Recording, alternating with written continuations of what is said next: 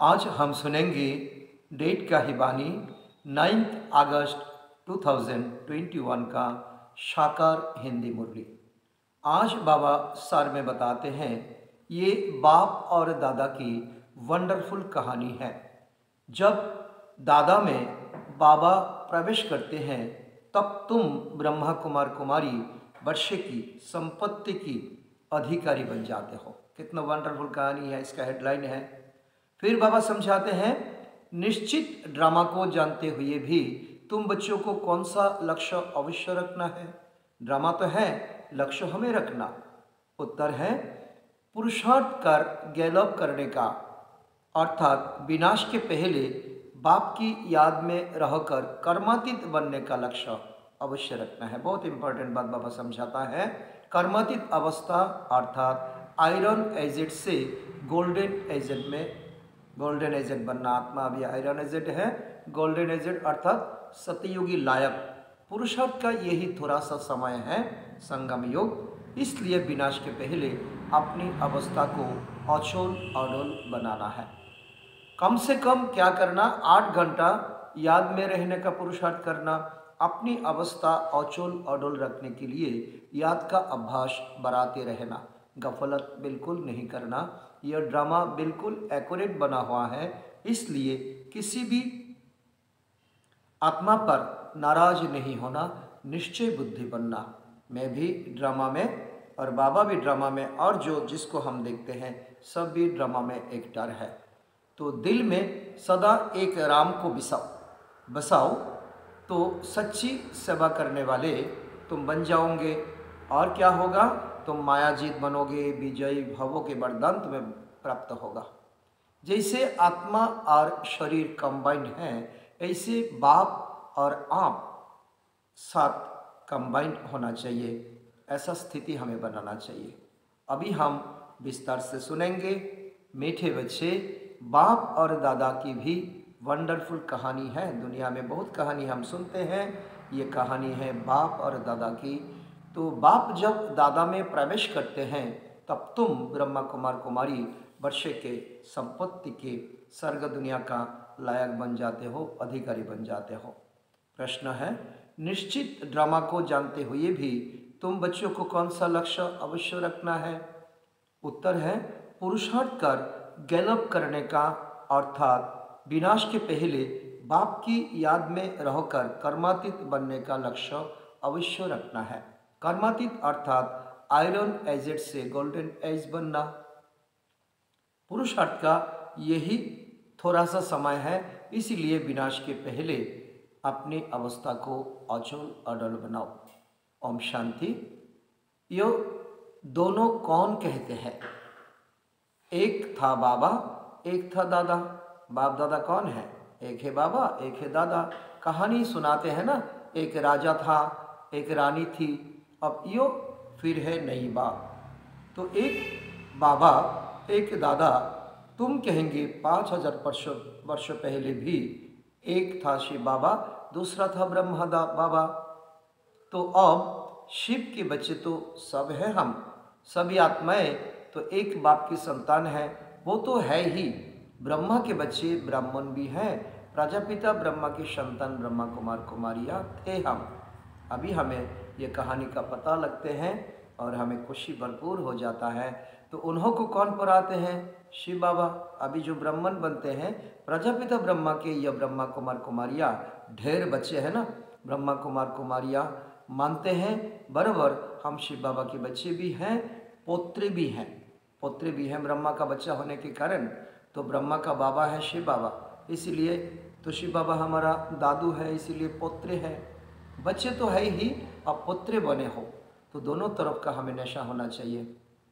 संतान भी है और नाती नतनी भी हैं। तो ब्रह्मा दारा, दादे से वर्षा लेना है। हुँ? हम्म? अभी तुमको दादे से वर्षा मिलता है तो जिसको शिव बाबा कहते हो। परंतु ब्रह्मा कुमार कुमारी होने के कारण उनको हम दादा कहते हैं, वर्षा दादा का है। शिव बाबा का है, ब्रह्मा दादा का नहीं, वो ठाकुर दादा का है। वैकुंठवासी बनने का वर्षा उस शिव बाप से हमें मिलता है। आधा कल्प हम वर्षा पाते हैं। सत्ययुग त्रेता, ढाई हज़ार साल फिर तुमको श्राप मिलता है। किससे? रावण से। कौन सा श्राप? नीचे उतरते जाते हो, जैसे कि ग्रहोचारी बैठते हैं नीचे उतरने की। अभी तुम बच्चे समझते हो, हमारी ग्रहोचारी तो राहु की दशा बैठी हुई है। राहु की दशा है सबसे खतरनाक। सबसे बुरी। ऊंचते ऊंच बृहस्पति की दशा, फिर राहु की दशा। तो पाँच विकार के कारण हम काले हो गई हैं। विकार में हम फंस गई हैं। और फिर बाप कहते हैं, बच्चे, दान दे दो। ये पाँच विकार का दान दे दो। तो ग्रहण तुम्हारा छूट जाएगा। तो तुम्हारी तो ये है है तुम्हारी बात। ये जो चंद्र ग्रहण होता है, सूर्य ग्रहण होता है, ये तो प्राकृतिक नियम है। अभी तुम्हारी आत्मा पर ग्रहण लगा हुआ है। उन्होंने फिर सूर्य चंद्रमा का ग्रहण समझ लिया है। अब ग्रहण लगता तो तो वो क्या कहते हैं, दान दो तो ग्रहण छूट जाएगा। तो ये इस समय का बात है। यह बाप तुमको कहते हैं, पाँच विकार का दान दे दो तो ग्रहण उतर जाएगी, ग्रहण उतर जाएगी। इन विकारों से ही तुम पापात्मा बने हो। मुख्य है तुम्हारा देहाभिमान। पहले ऐसे सत प्रधान थे, फिर सतो फिर रजो, तमो, तम प्रधान तुम बनते आए हो। दिन प्रतिदिन तुम गिरते आए हो। चौरासी जन्मों के लिए, यो तो पक्का निश्चय है ना? बरबर देवताई ही चौरासी जन्म लेते हैं। सूत्र बाबा ने बता दिया, पहले उन्हों को ही तो मिलना चाहिए। बाप से वर्षा, गाया भी जाता है। आत्मा परमात्मा अलग रहे, बहुकाल बाबा कहते हैं। पहले पहले तुमको सतयुग में हमें भेजा था, बहुत सोने जहरात से तुम्हें भेजा था। फिर अभी तुम ही आकर हमें मिले हो। पुराना अभी तुम हमारा पास आए हो। आगे तो सिर्फ़ गाते थे, उनका यथार्थ तो अर्थ अभी बाप बैठ समझाते हैं। सभी वेद, शास्त्रों जॉब तप तो स्लोगन आदि जो भी है तो सबका साथ बाप बैठ समझाते हैं। मनुष्य बहुत कुछ पढ़ते हैं अपने को ऊपर उठाने के लिए। इसका सार बाबा कहते हैं। मैं संक्षेप में, छोटा करके मैं तुमको बताता हूँ। चक्र तो बिल्कुल सहज है। अभी कलयुग और सतयुग का संगम है। लड़ाई भी सामने खड़ी है, विनाश होना है। ये भी तुमको निश्चय है, सतयुग की स्थापना होती है।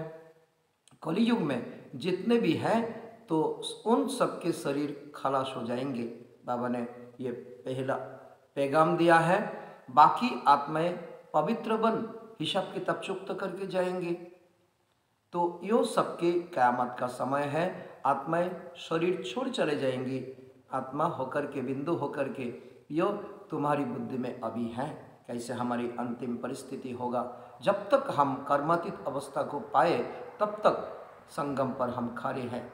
ब्राह्मण बन कर के खड़े हैं। हमें तो तोड़ निभाना है और दायित्व निभाना है। एक तरफ़ है करोड़ों मनुष्य, दूसरे तरफ़ हो सिर्फ़ तुम थोड़े बच्चे। तुम्हारी में भी कितने हैं जो निश्चय बुद्धि होते जाते हैं? फिर निश्चय बुद्धि विजयंती फिर जाकर विष्णु के गले के माला बन जाते हो। एक है रुद्राक्ष की माला दूसरी है रोंडो माला। तो उस रोंडो माला से छोटी छोटी हम्म, सकल होती है। रोंडो माला में छोटी छोटी सकल होता है। ये भी कुदरत का एक खेल है। तो यह निशानी है। अभी तुम्हारी तुम मनुष्य थे फिर माला में तुम आ गई हो। तुम आत्मा इतना श्रेष्ठ पुरुषार्थ किया तो भक्त लोग तुम्हें तो माला बना करके गले में डाल दिया, हाथों में जपने लगा। हम आत्माएँ ही आकर फिर बाप से बाप की गले के गले का माला का दाना बनेंगे। फिर यहाँ आएँगे सतयुग में नंबर वार, त्रेता में कोई आएँगे। माला आठ की भी होता है, एक सौ आठ की भी होता है, सोलह हज़ार एक सौ आठ का भी है। अब सोलह हज़ार है या पाँच, दस हज़ार है, उनका कोई हिसाब नहीं निकाला जाता। ये मालाएँ गाई जाती हैं। बाबा कहते हैं तो ये सब तो तुम क्यों विचार करते हो? जितने भी राजाई कल्प पहले सतयुग त्रेता में बने थे, उन्हें ही बनेंगे। इनमें विचार करने का कोई, फालतू चिंता करने का कोई बात नहीं। पुरुषार्थ करो। ड्रामा में है, जो है वो तो होगा, लेकिन तुमको छुट्टी दिया है, पुरुषार्थ करो। तो सौ बने या दो तीन सौ बने ये पूछना नहीं है वो तो बाद में देखा जाएगा। पहले तो परीक्षा का प्रस्तुति लेना बाद में एग्ज़ाम होता है। बाप कहते हैं तुम जितना नज़दीक आते जाएँगे तो ये सब समझ जाएँगे। क्या क्या हम, हो रहा है? तो अपना माइंड सेट हो जाएगा। आज तुम यहाँ है काल विनाश होगा फिर सत्ययुग में थोड़े से देवी देवता तुम्हारा राज्य होगा एक गाँव जैसा होगा बाद में तुम वृद्धि को प्राप्त करेंगे। सतयुग के असर भी तो दिखाई पड़ते हैं। बाकी लाख आकर रहेंगे, फिर लाख रहे या द नौ दस लाख रहे एक्यूरेट नहीं कह सकते। हाँ तुम जब एक्यूरेट संपूर्ण बनने के लायक बनेंगे, तब तुम्हारी और जास्ती साक्षात्कार हो जाएगा। आगे के लिए क्या होगा? तुम्हारा स्थिति का ऊपर है। अभी तो बहुत कुछ समझने का समय पड़ा है तो यो साक्षात्कार करते रहेंगे। लड़ाई की तैयारियाँ भी बहुत होती रहती हैं। यो चीज़ें महँगी होती जाएँगी। ये खाने का वस्तु पहनने का तो ये इस्तेमाल करने का जो भी सामग्री है, वो दिन प्रतिदिन महँगा होती जाती हैं। विलायत में भी तो ये खूब टैक्स आदि लगते रहेंगे। बहुत बहुत महँगाई होकर फिर एकदम सस्ताई हो जाएँगे सत्ययुग में।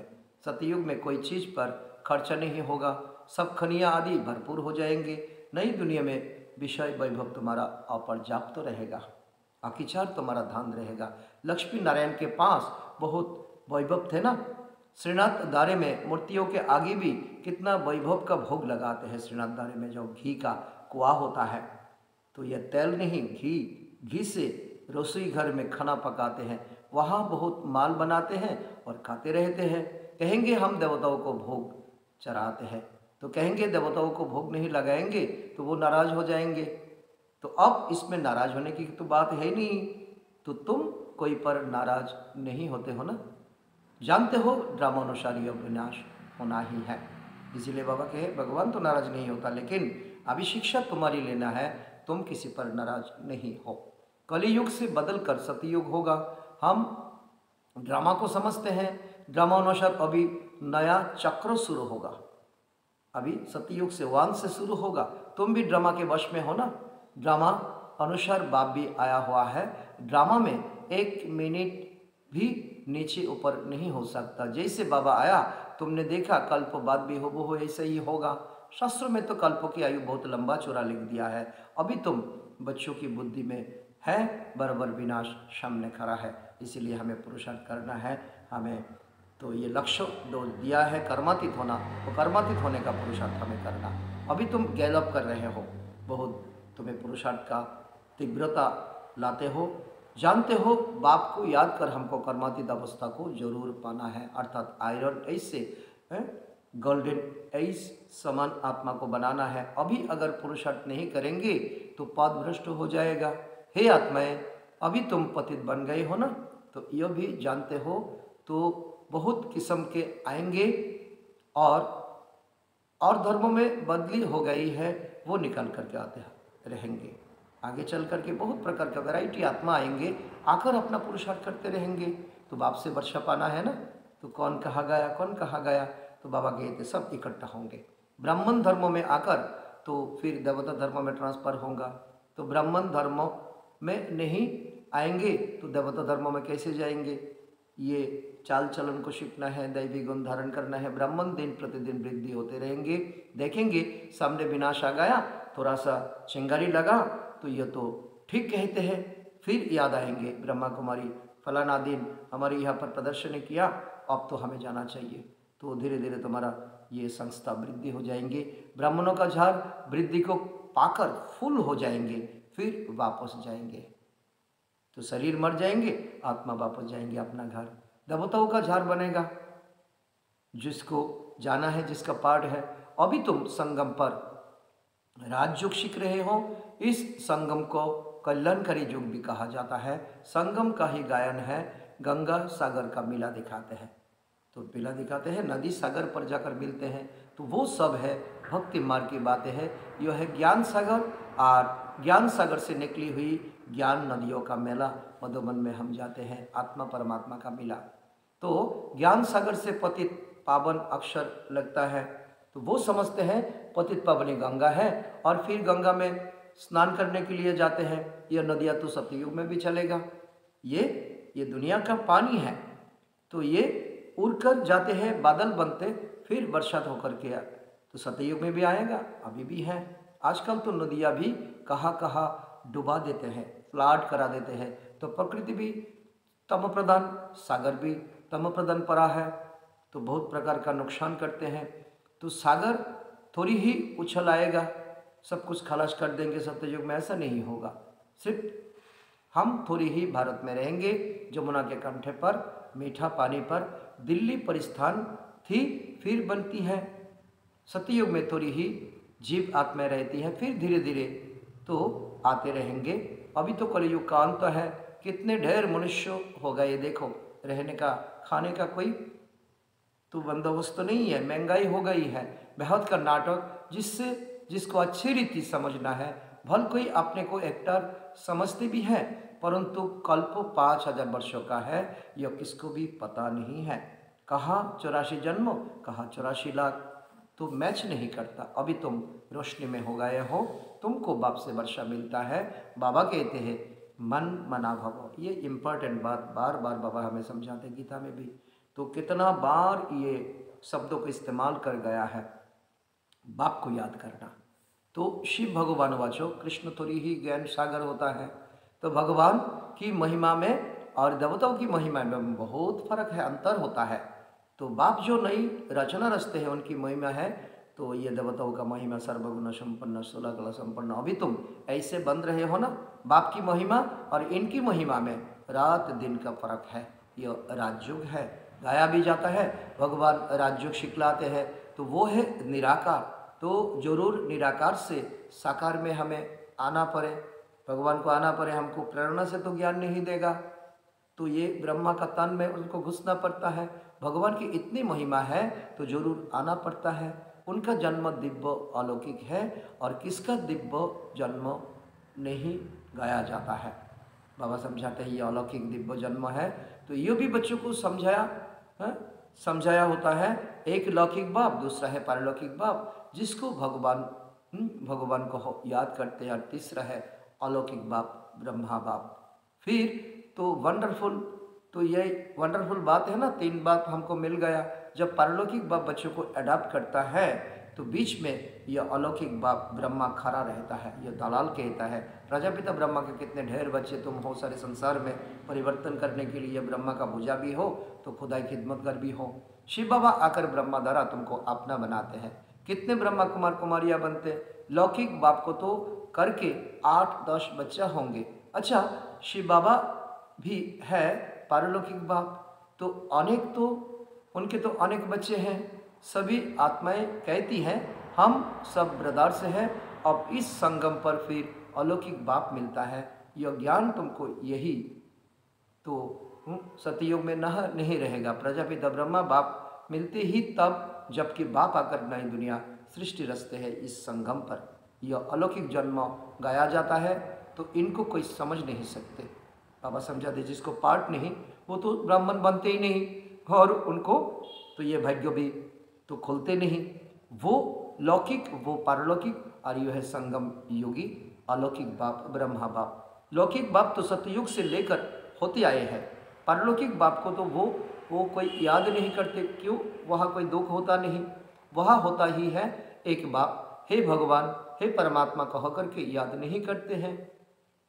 फिर द्रापर में जब भक्ति मार्ग शुरू होता है तो दो बाप होता है। सतयुग में एक बाप द्रापर से दो बाप संगम पर हमारे तीन बाप।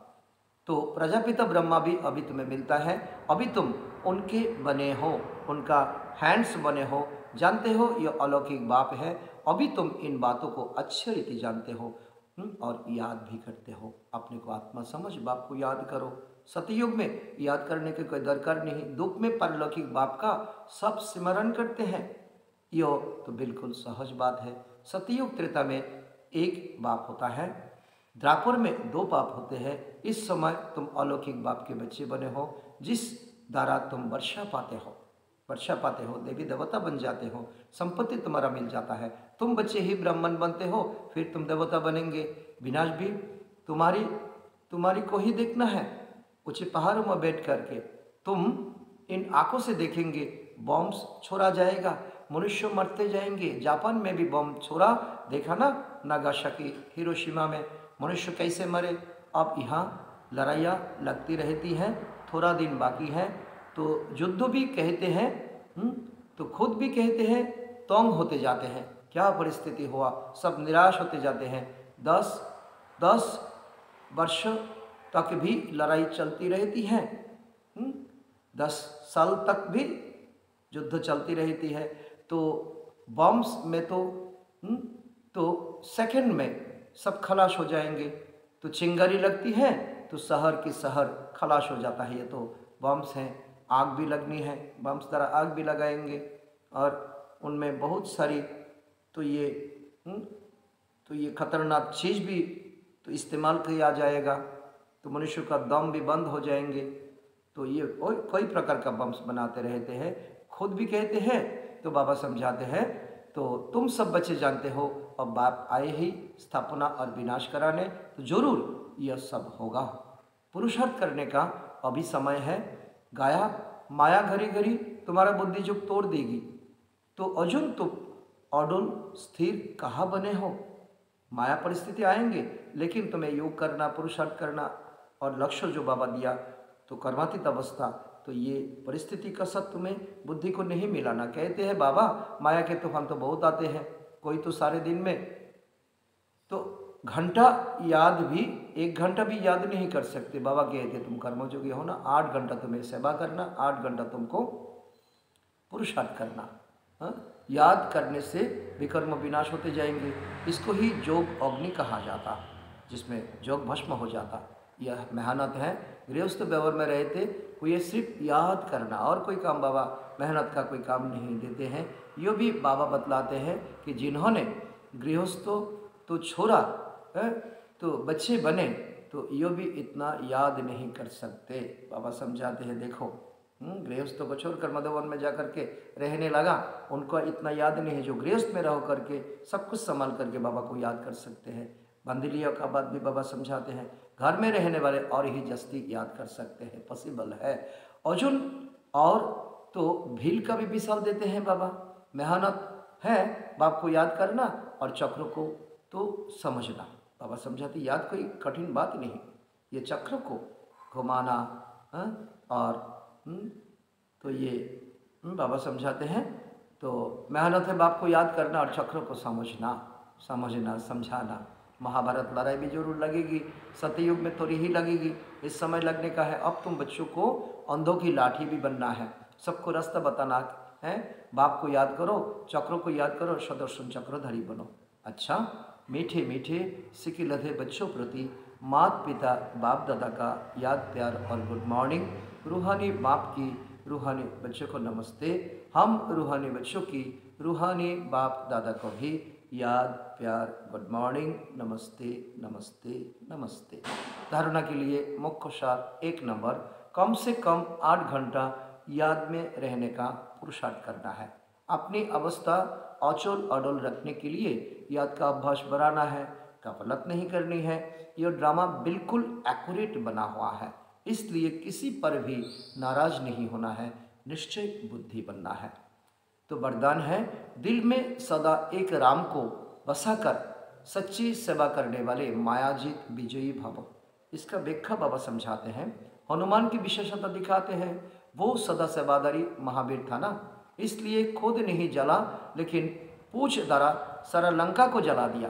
तो यहाँ भी जो सेवादारी, सदा सेवादारी है तो वही माया के अधिकारी, अधिकार को ख़त्म कर सकते हैं जो सेवादारी नहीं, वो माया के राज्यों को जला नहीं सकते। बाबा के लंका माना, माया का राज्यों को जलाना। हनुमान के दिल में सदा एक राम बसता रहता है ना तो बाप के सिवाय और कोई दिल में ना हो, अपने देहों की स्थिति भी ना हो तो अब मायाजित विजयी बनेंगे। तो स्लोगान भी हैं, जैसे आत्मा और शरीर कंबाइंड है, ऐसे आप बाप के साथ कंबाइंड रहो। आज का समान है मैं मायाजीत और विजयी आत्मा हूँ। मैं मायाजीत भी हूँ और विजयी आत्मा भी, भी हूँ। विजय हमारा जन्म सिद्ध अधिकार है। ओम शांति।